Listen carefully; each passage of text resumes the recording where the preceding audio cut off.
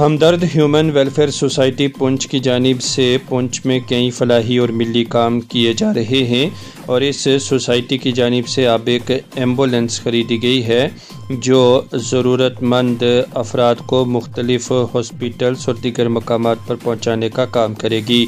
इस ज़िम्न में आज एक प्रोग्राम मनद किया गया, जिसमें तहसीलदार हवेली के साथ साथ दीगर कई मुआज़ शख्सियात ने शमूलियत की और इस एंबुलेंस की रस्म रोनमाई निभाई गई। इस मौका पर हमदर्द ह्यूमन वेलफेयर सोसाइटी के मम्बरान ने वहाँ पर मौजूद मुआज़ शख्सियात और दीगर आवाम से ये अपील भी की है कि वो इस सोसाइटी की मावनत करें ताकि इस तरह के मज़ीद काम सोसाइटी में किए जा सकें। देखिए सोचा नहीं है अभी तक, क्योंकि हमारे पास उतने वसाइल नहीं है।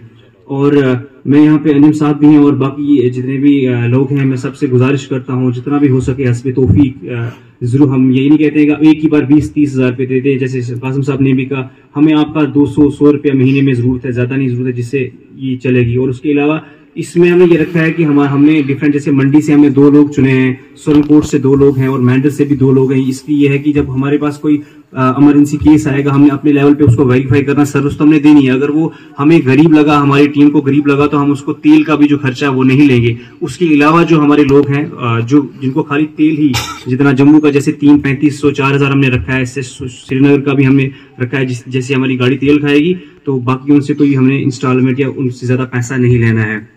मैं सभी लोगों का शुक्रिया अदा करता हूँ, अपने टीम मेंबर्स का, खास करके डॉक्टर वहीद शेख वहीद शेख साहब हैं, जमीर शेख साहब हैं, हमारे एजाज भाई हैं। इन लोगों की बहुत अनथक मेहनत है, क्योंकि हम जहाँ पर लॉकडाउन में जब हमारे पास हम स्पेशल गाड़ी नहीं कर पा रहे थे तो हम अपनी गाड़ियों में डाल के जमीर शेख साहब उनसे टैंकी फुल करवाते थे वहीद साहब वगैरह। हम अपनी गाड़ियों में लाद की सामान जो है डिफरेंट एरिया में, आप बलनोई, वो बला मामनकोट का एक एरिया है, सांगला पीछे, बहुत हम जगह गए सावजिया में, जहाँ पे लोग नहीं जा पा रहे थे। हम गए, वहाँ पे लोगों को राशन दिया और लोगों ने काफ़ी दवाएँ की। एक इंस्टेंट में सर को बताता है चलो, हम तो मैंड्र में या मनकोट एक एरिया है, वहाँ पे पीछे हम गए गाँव में। तो एक बुढ़िया थी, लगभग उनकी सत्तर, पचहत्तर साल उम्र थी, उनके बाकी सारे रिश्तेदार पाकिस्तान में थे। और जब हम उनके पास गए साढ़े तीन बजे हम उनके पास गए तो जब एक भाई ने कहा कि ये पुंछ से लोग आए हैं तो उन्होंने ये कहा कि मड़ा कौन खांसी इस राशन की?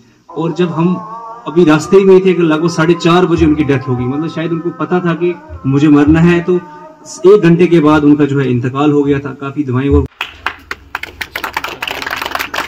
ह्यूमन वेलफेयर सोसाइटी जो अपनी मंजिल की तरफ़ रवा दवा है, जिन्होंने कोविड में गुरबाओं मसाकिन की इमदाद की। उसके अलावा जगह जगह पे जहाँ भी कहीं मोहताजों को किसी किस्म की इमदाद की ज़रूरत पड़ी तो उन्होंने की। उसी मंजिल को बढ़ाते हुए आज आपके सामने उन्होंने एक एंबुलेंस का इनका किया है, जिसकी इनाग्रेशन जनाब तहसीलदार साहब के शुभ हाथों से की जाएगी। अलीजा, यही काम दुनिया में किए जाते हैं, जो इसलाई काम हो, जो गुरबाओ मसाकिन के लिए काम हो। जिसकी तफसील यहाँ आपको बताई गई मैं तो आज की तकरीब सईद में मतवावल लोगों से ये गुजारिश करूँगा कि वो इस तंजीम की भरपूर हमायत को सपोर्ट करें। इस टीम ने काम किया है, वो काबिल तारीफ़ है। और इससे पहले भी मैं आपको बताता चलूँ कि आज कोई नई बात नहीं।